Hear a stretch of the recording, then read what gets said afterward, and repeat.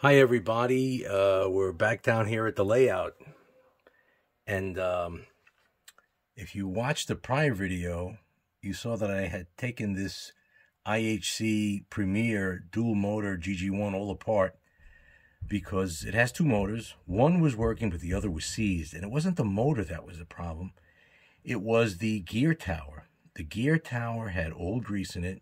This thing... Uh, it's another one probably over 20 years old. And uh, the, the grease had turned to cement and it uh, wouldn't move. Thankfully, I didn't leave current on it for too long a period of time. The motor seems to be fine. I took the gear tower all apart and uh, cleaned it with alcohol and then put my trusty um, red lithium and um, LaBelle grease oil on it. And we're about to see if she wants to run.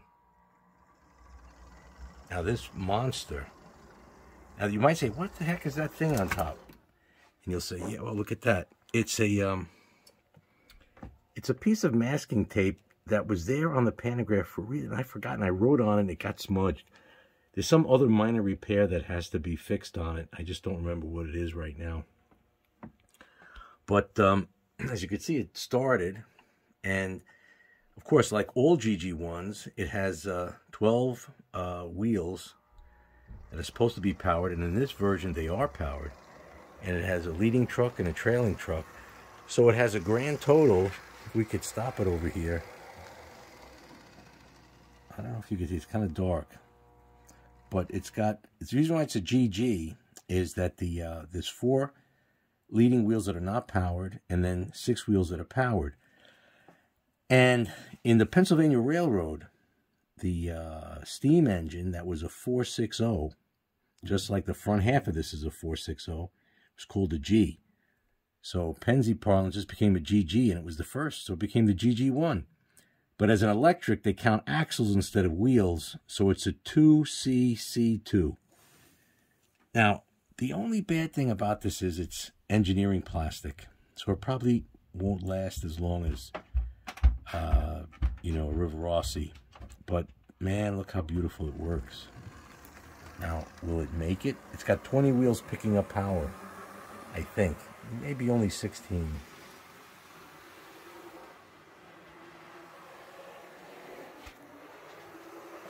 Oh yeah, made it through Dead Man's Pass. She's flying. And she is She's doing great. Wow. Back from the dead. I hope I didn't leave anything on the tracks. I took that monster R1 off. Look at her go. Of course, it's in uh, Pennsy uh, livery in Tuscan red. Tuscan red was for the passenger cars. Where's she going now?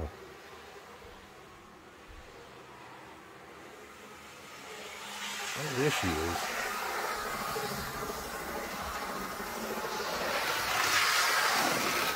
Wow. Let's see if we can catch her on the other way.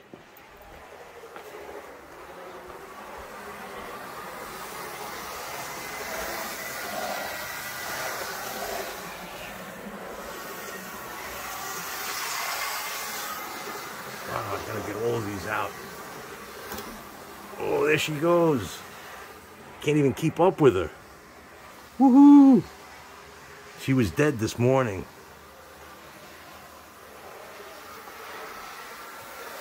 She wasn't meant to be dead. She was meant to live and fly. So happy to be out of the box.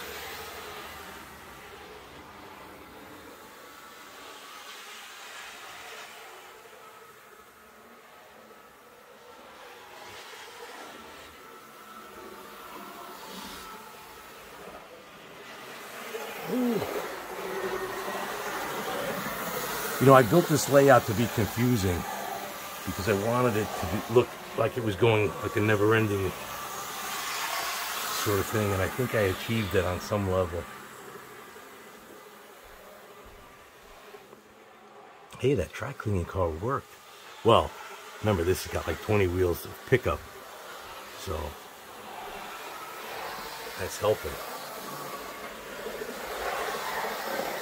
Wow, She's probably going at 150 scale miles an hour.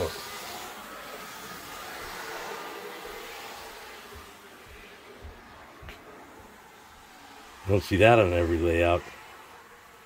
What is that? A big T-Rex and a, uh, what was that? Spinosaurus. Where is she? Oh, here she is.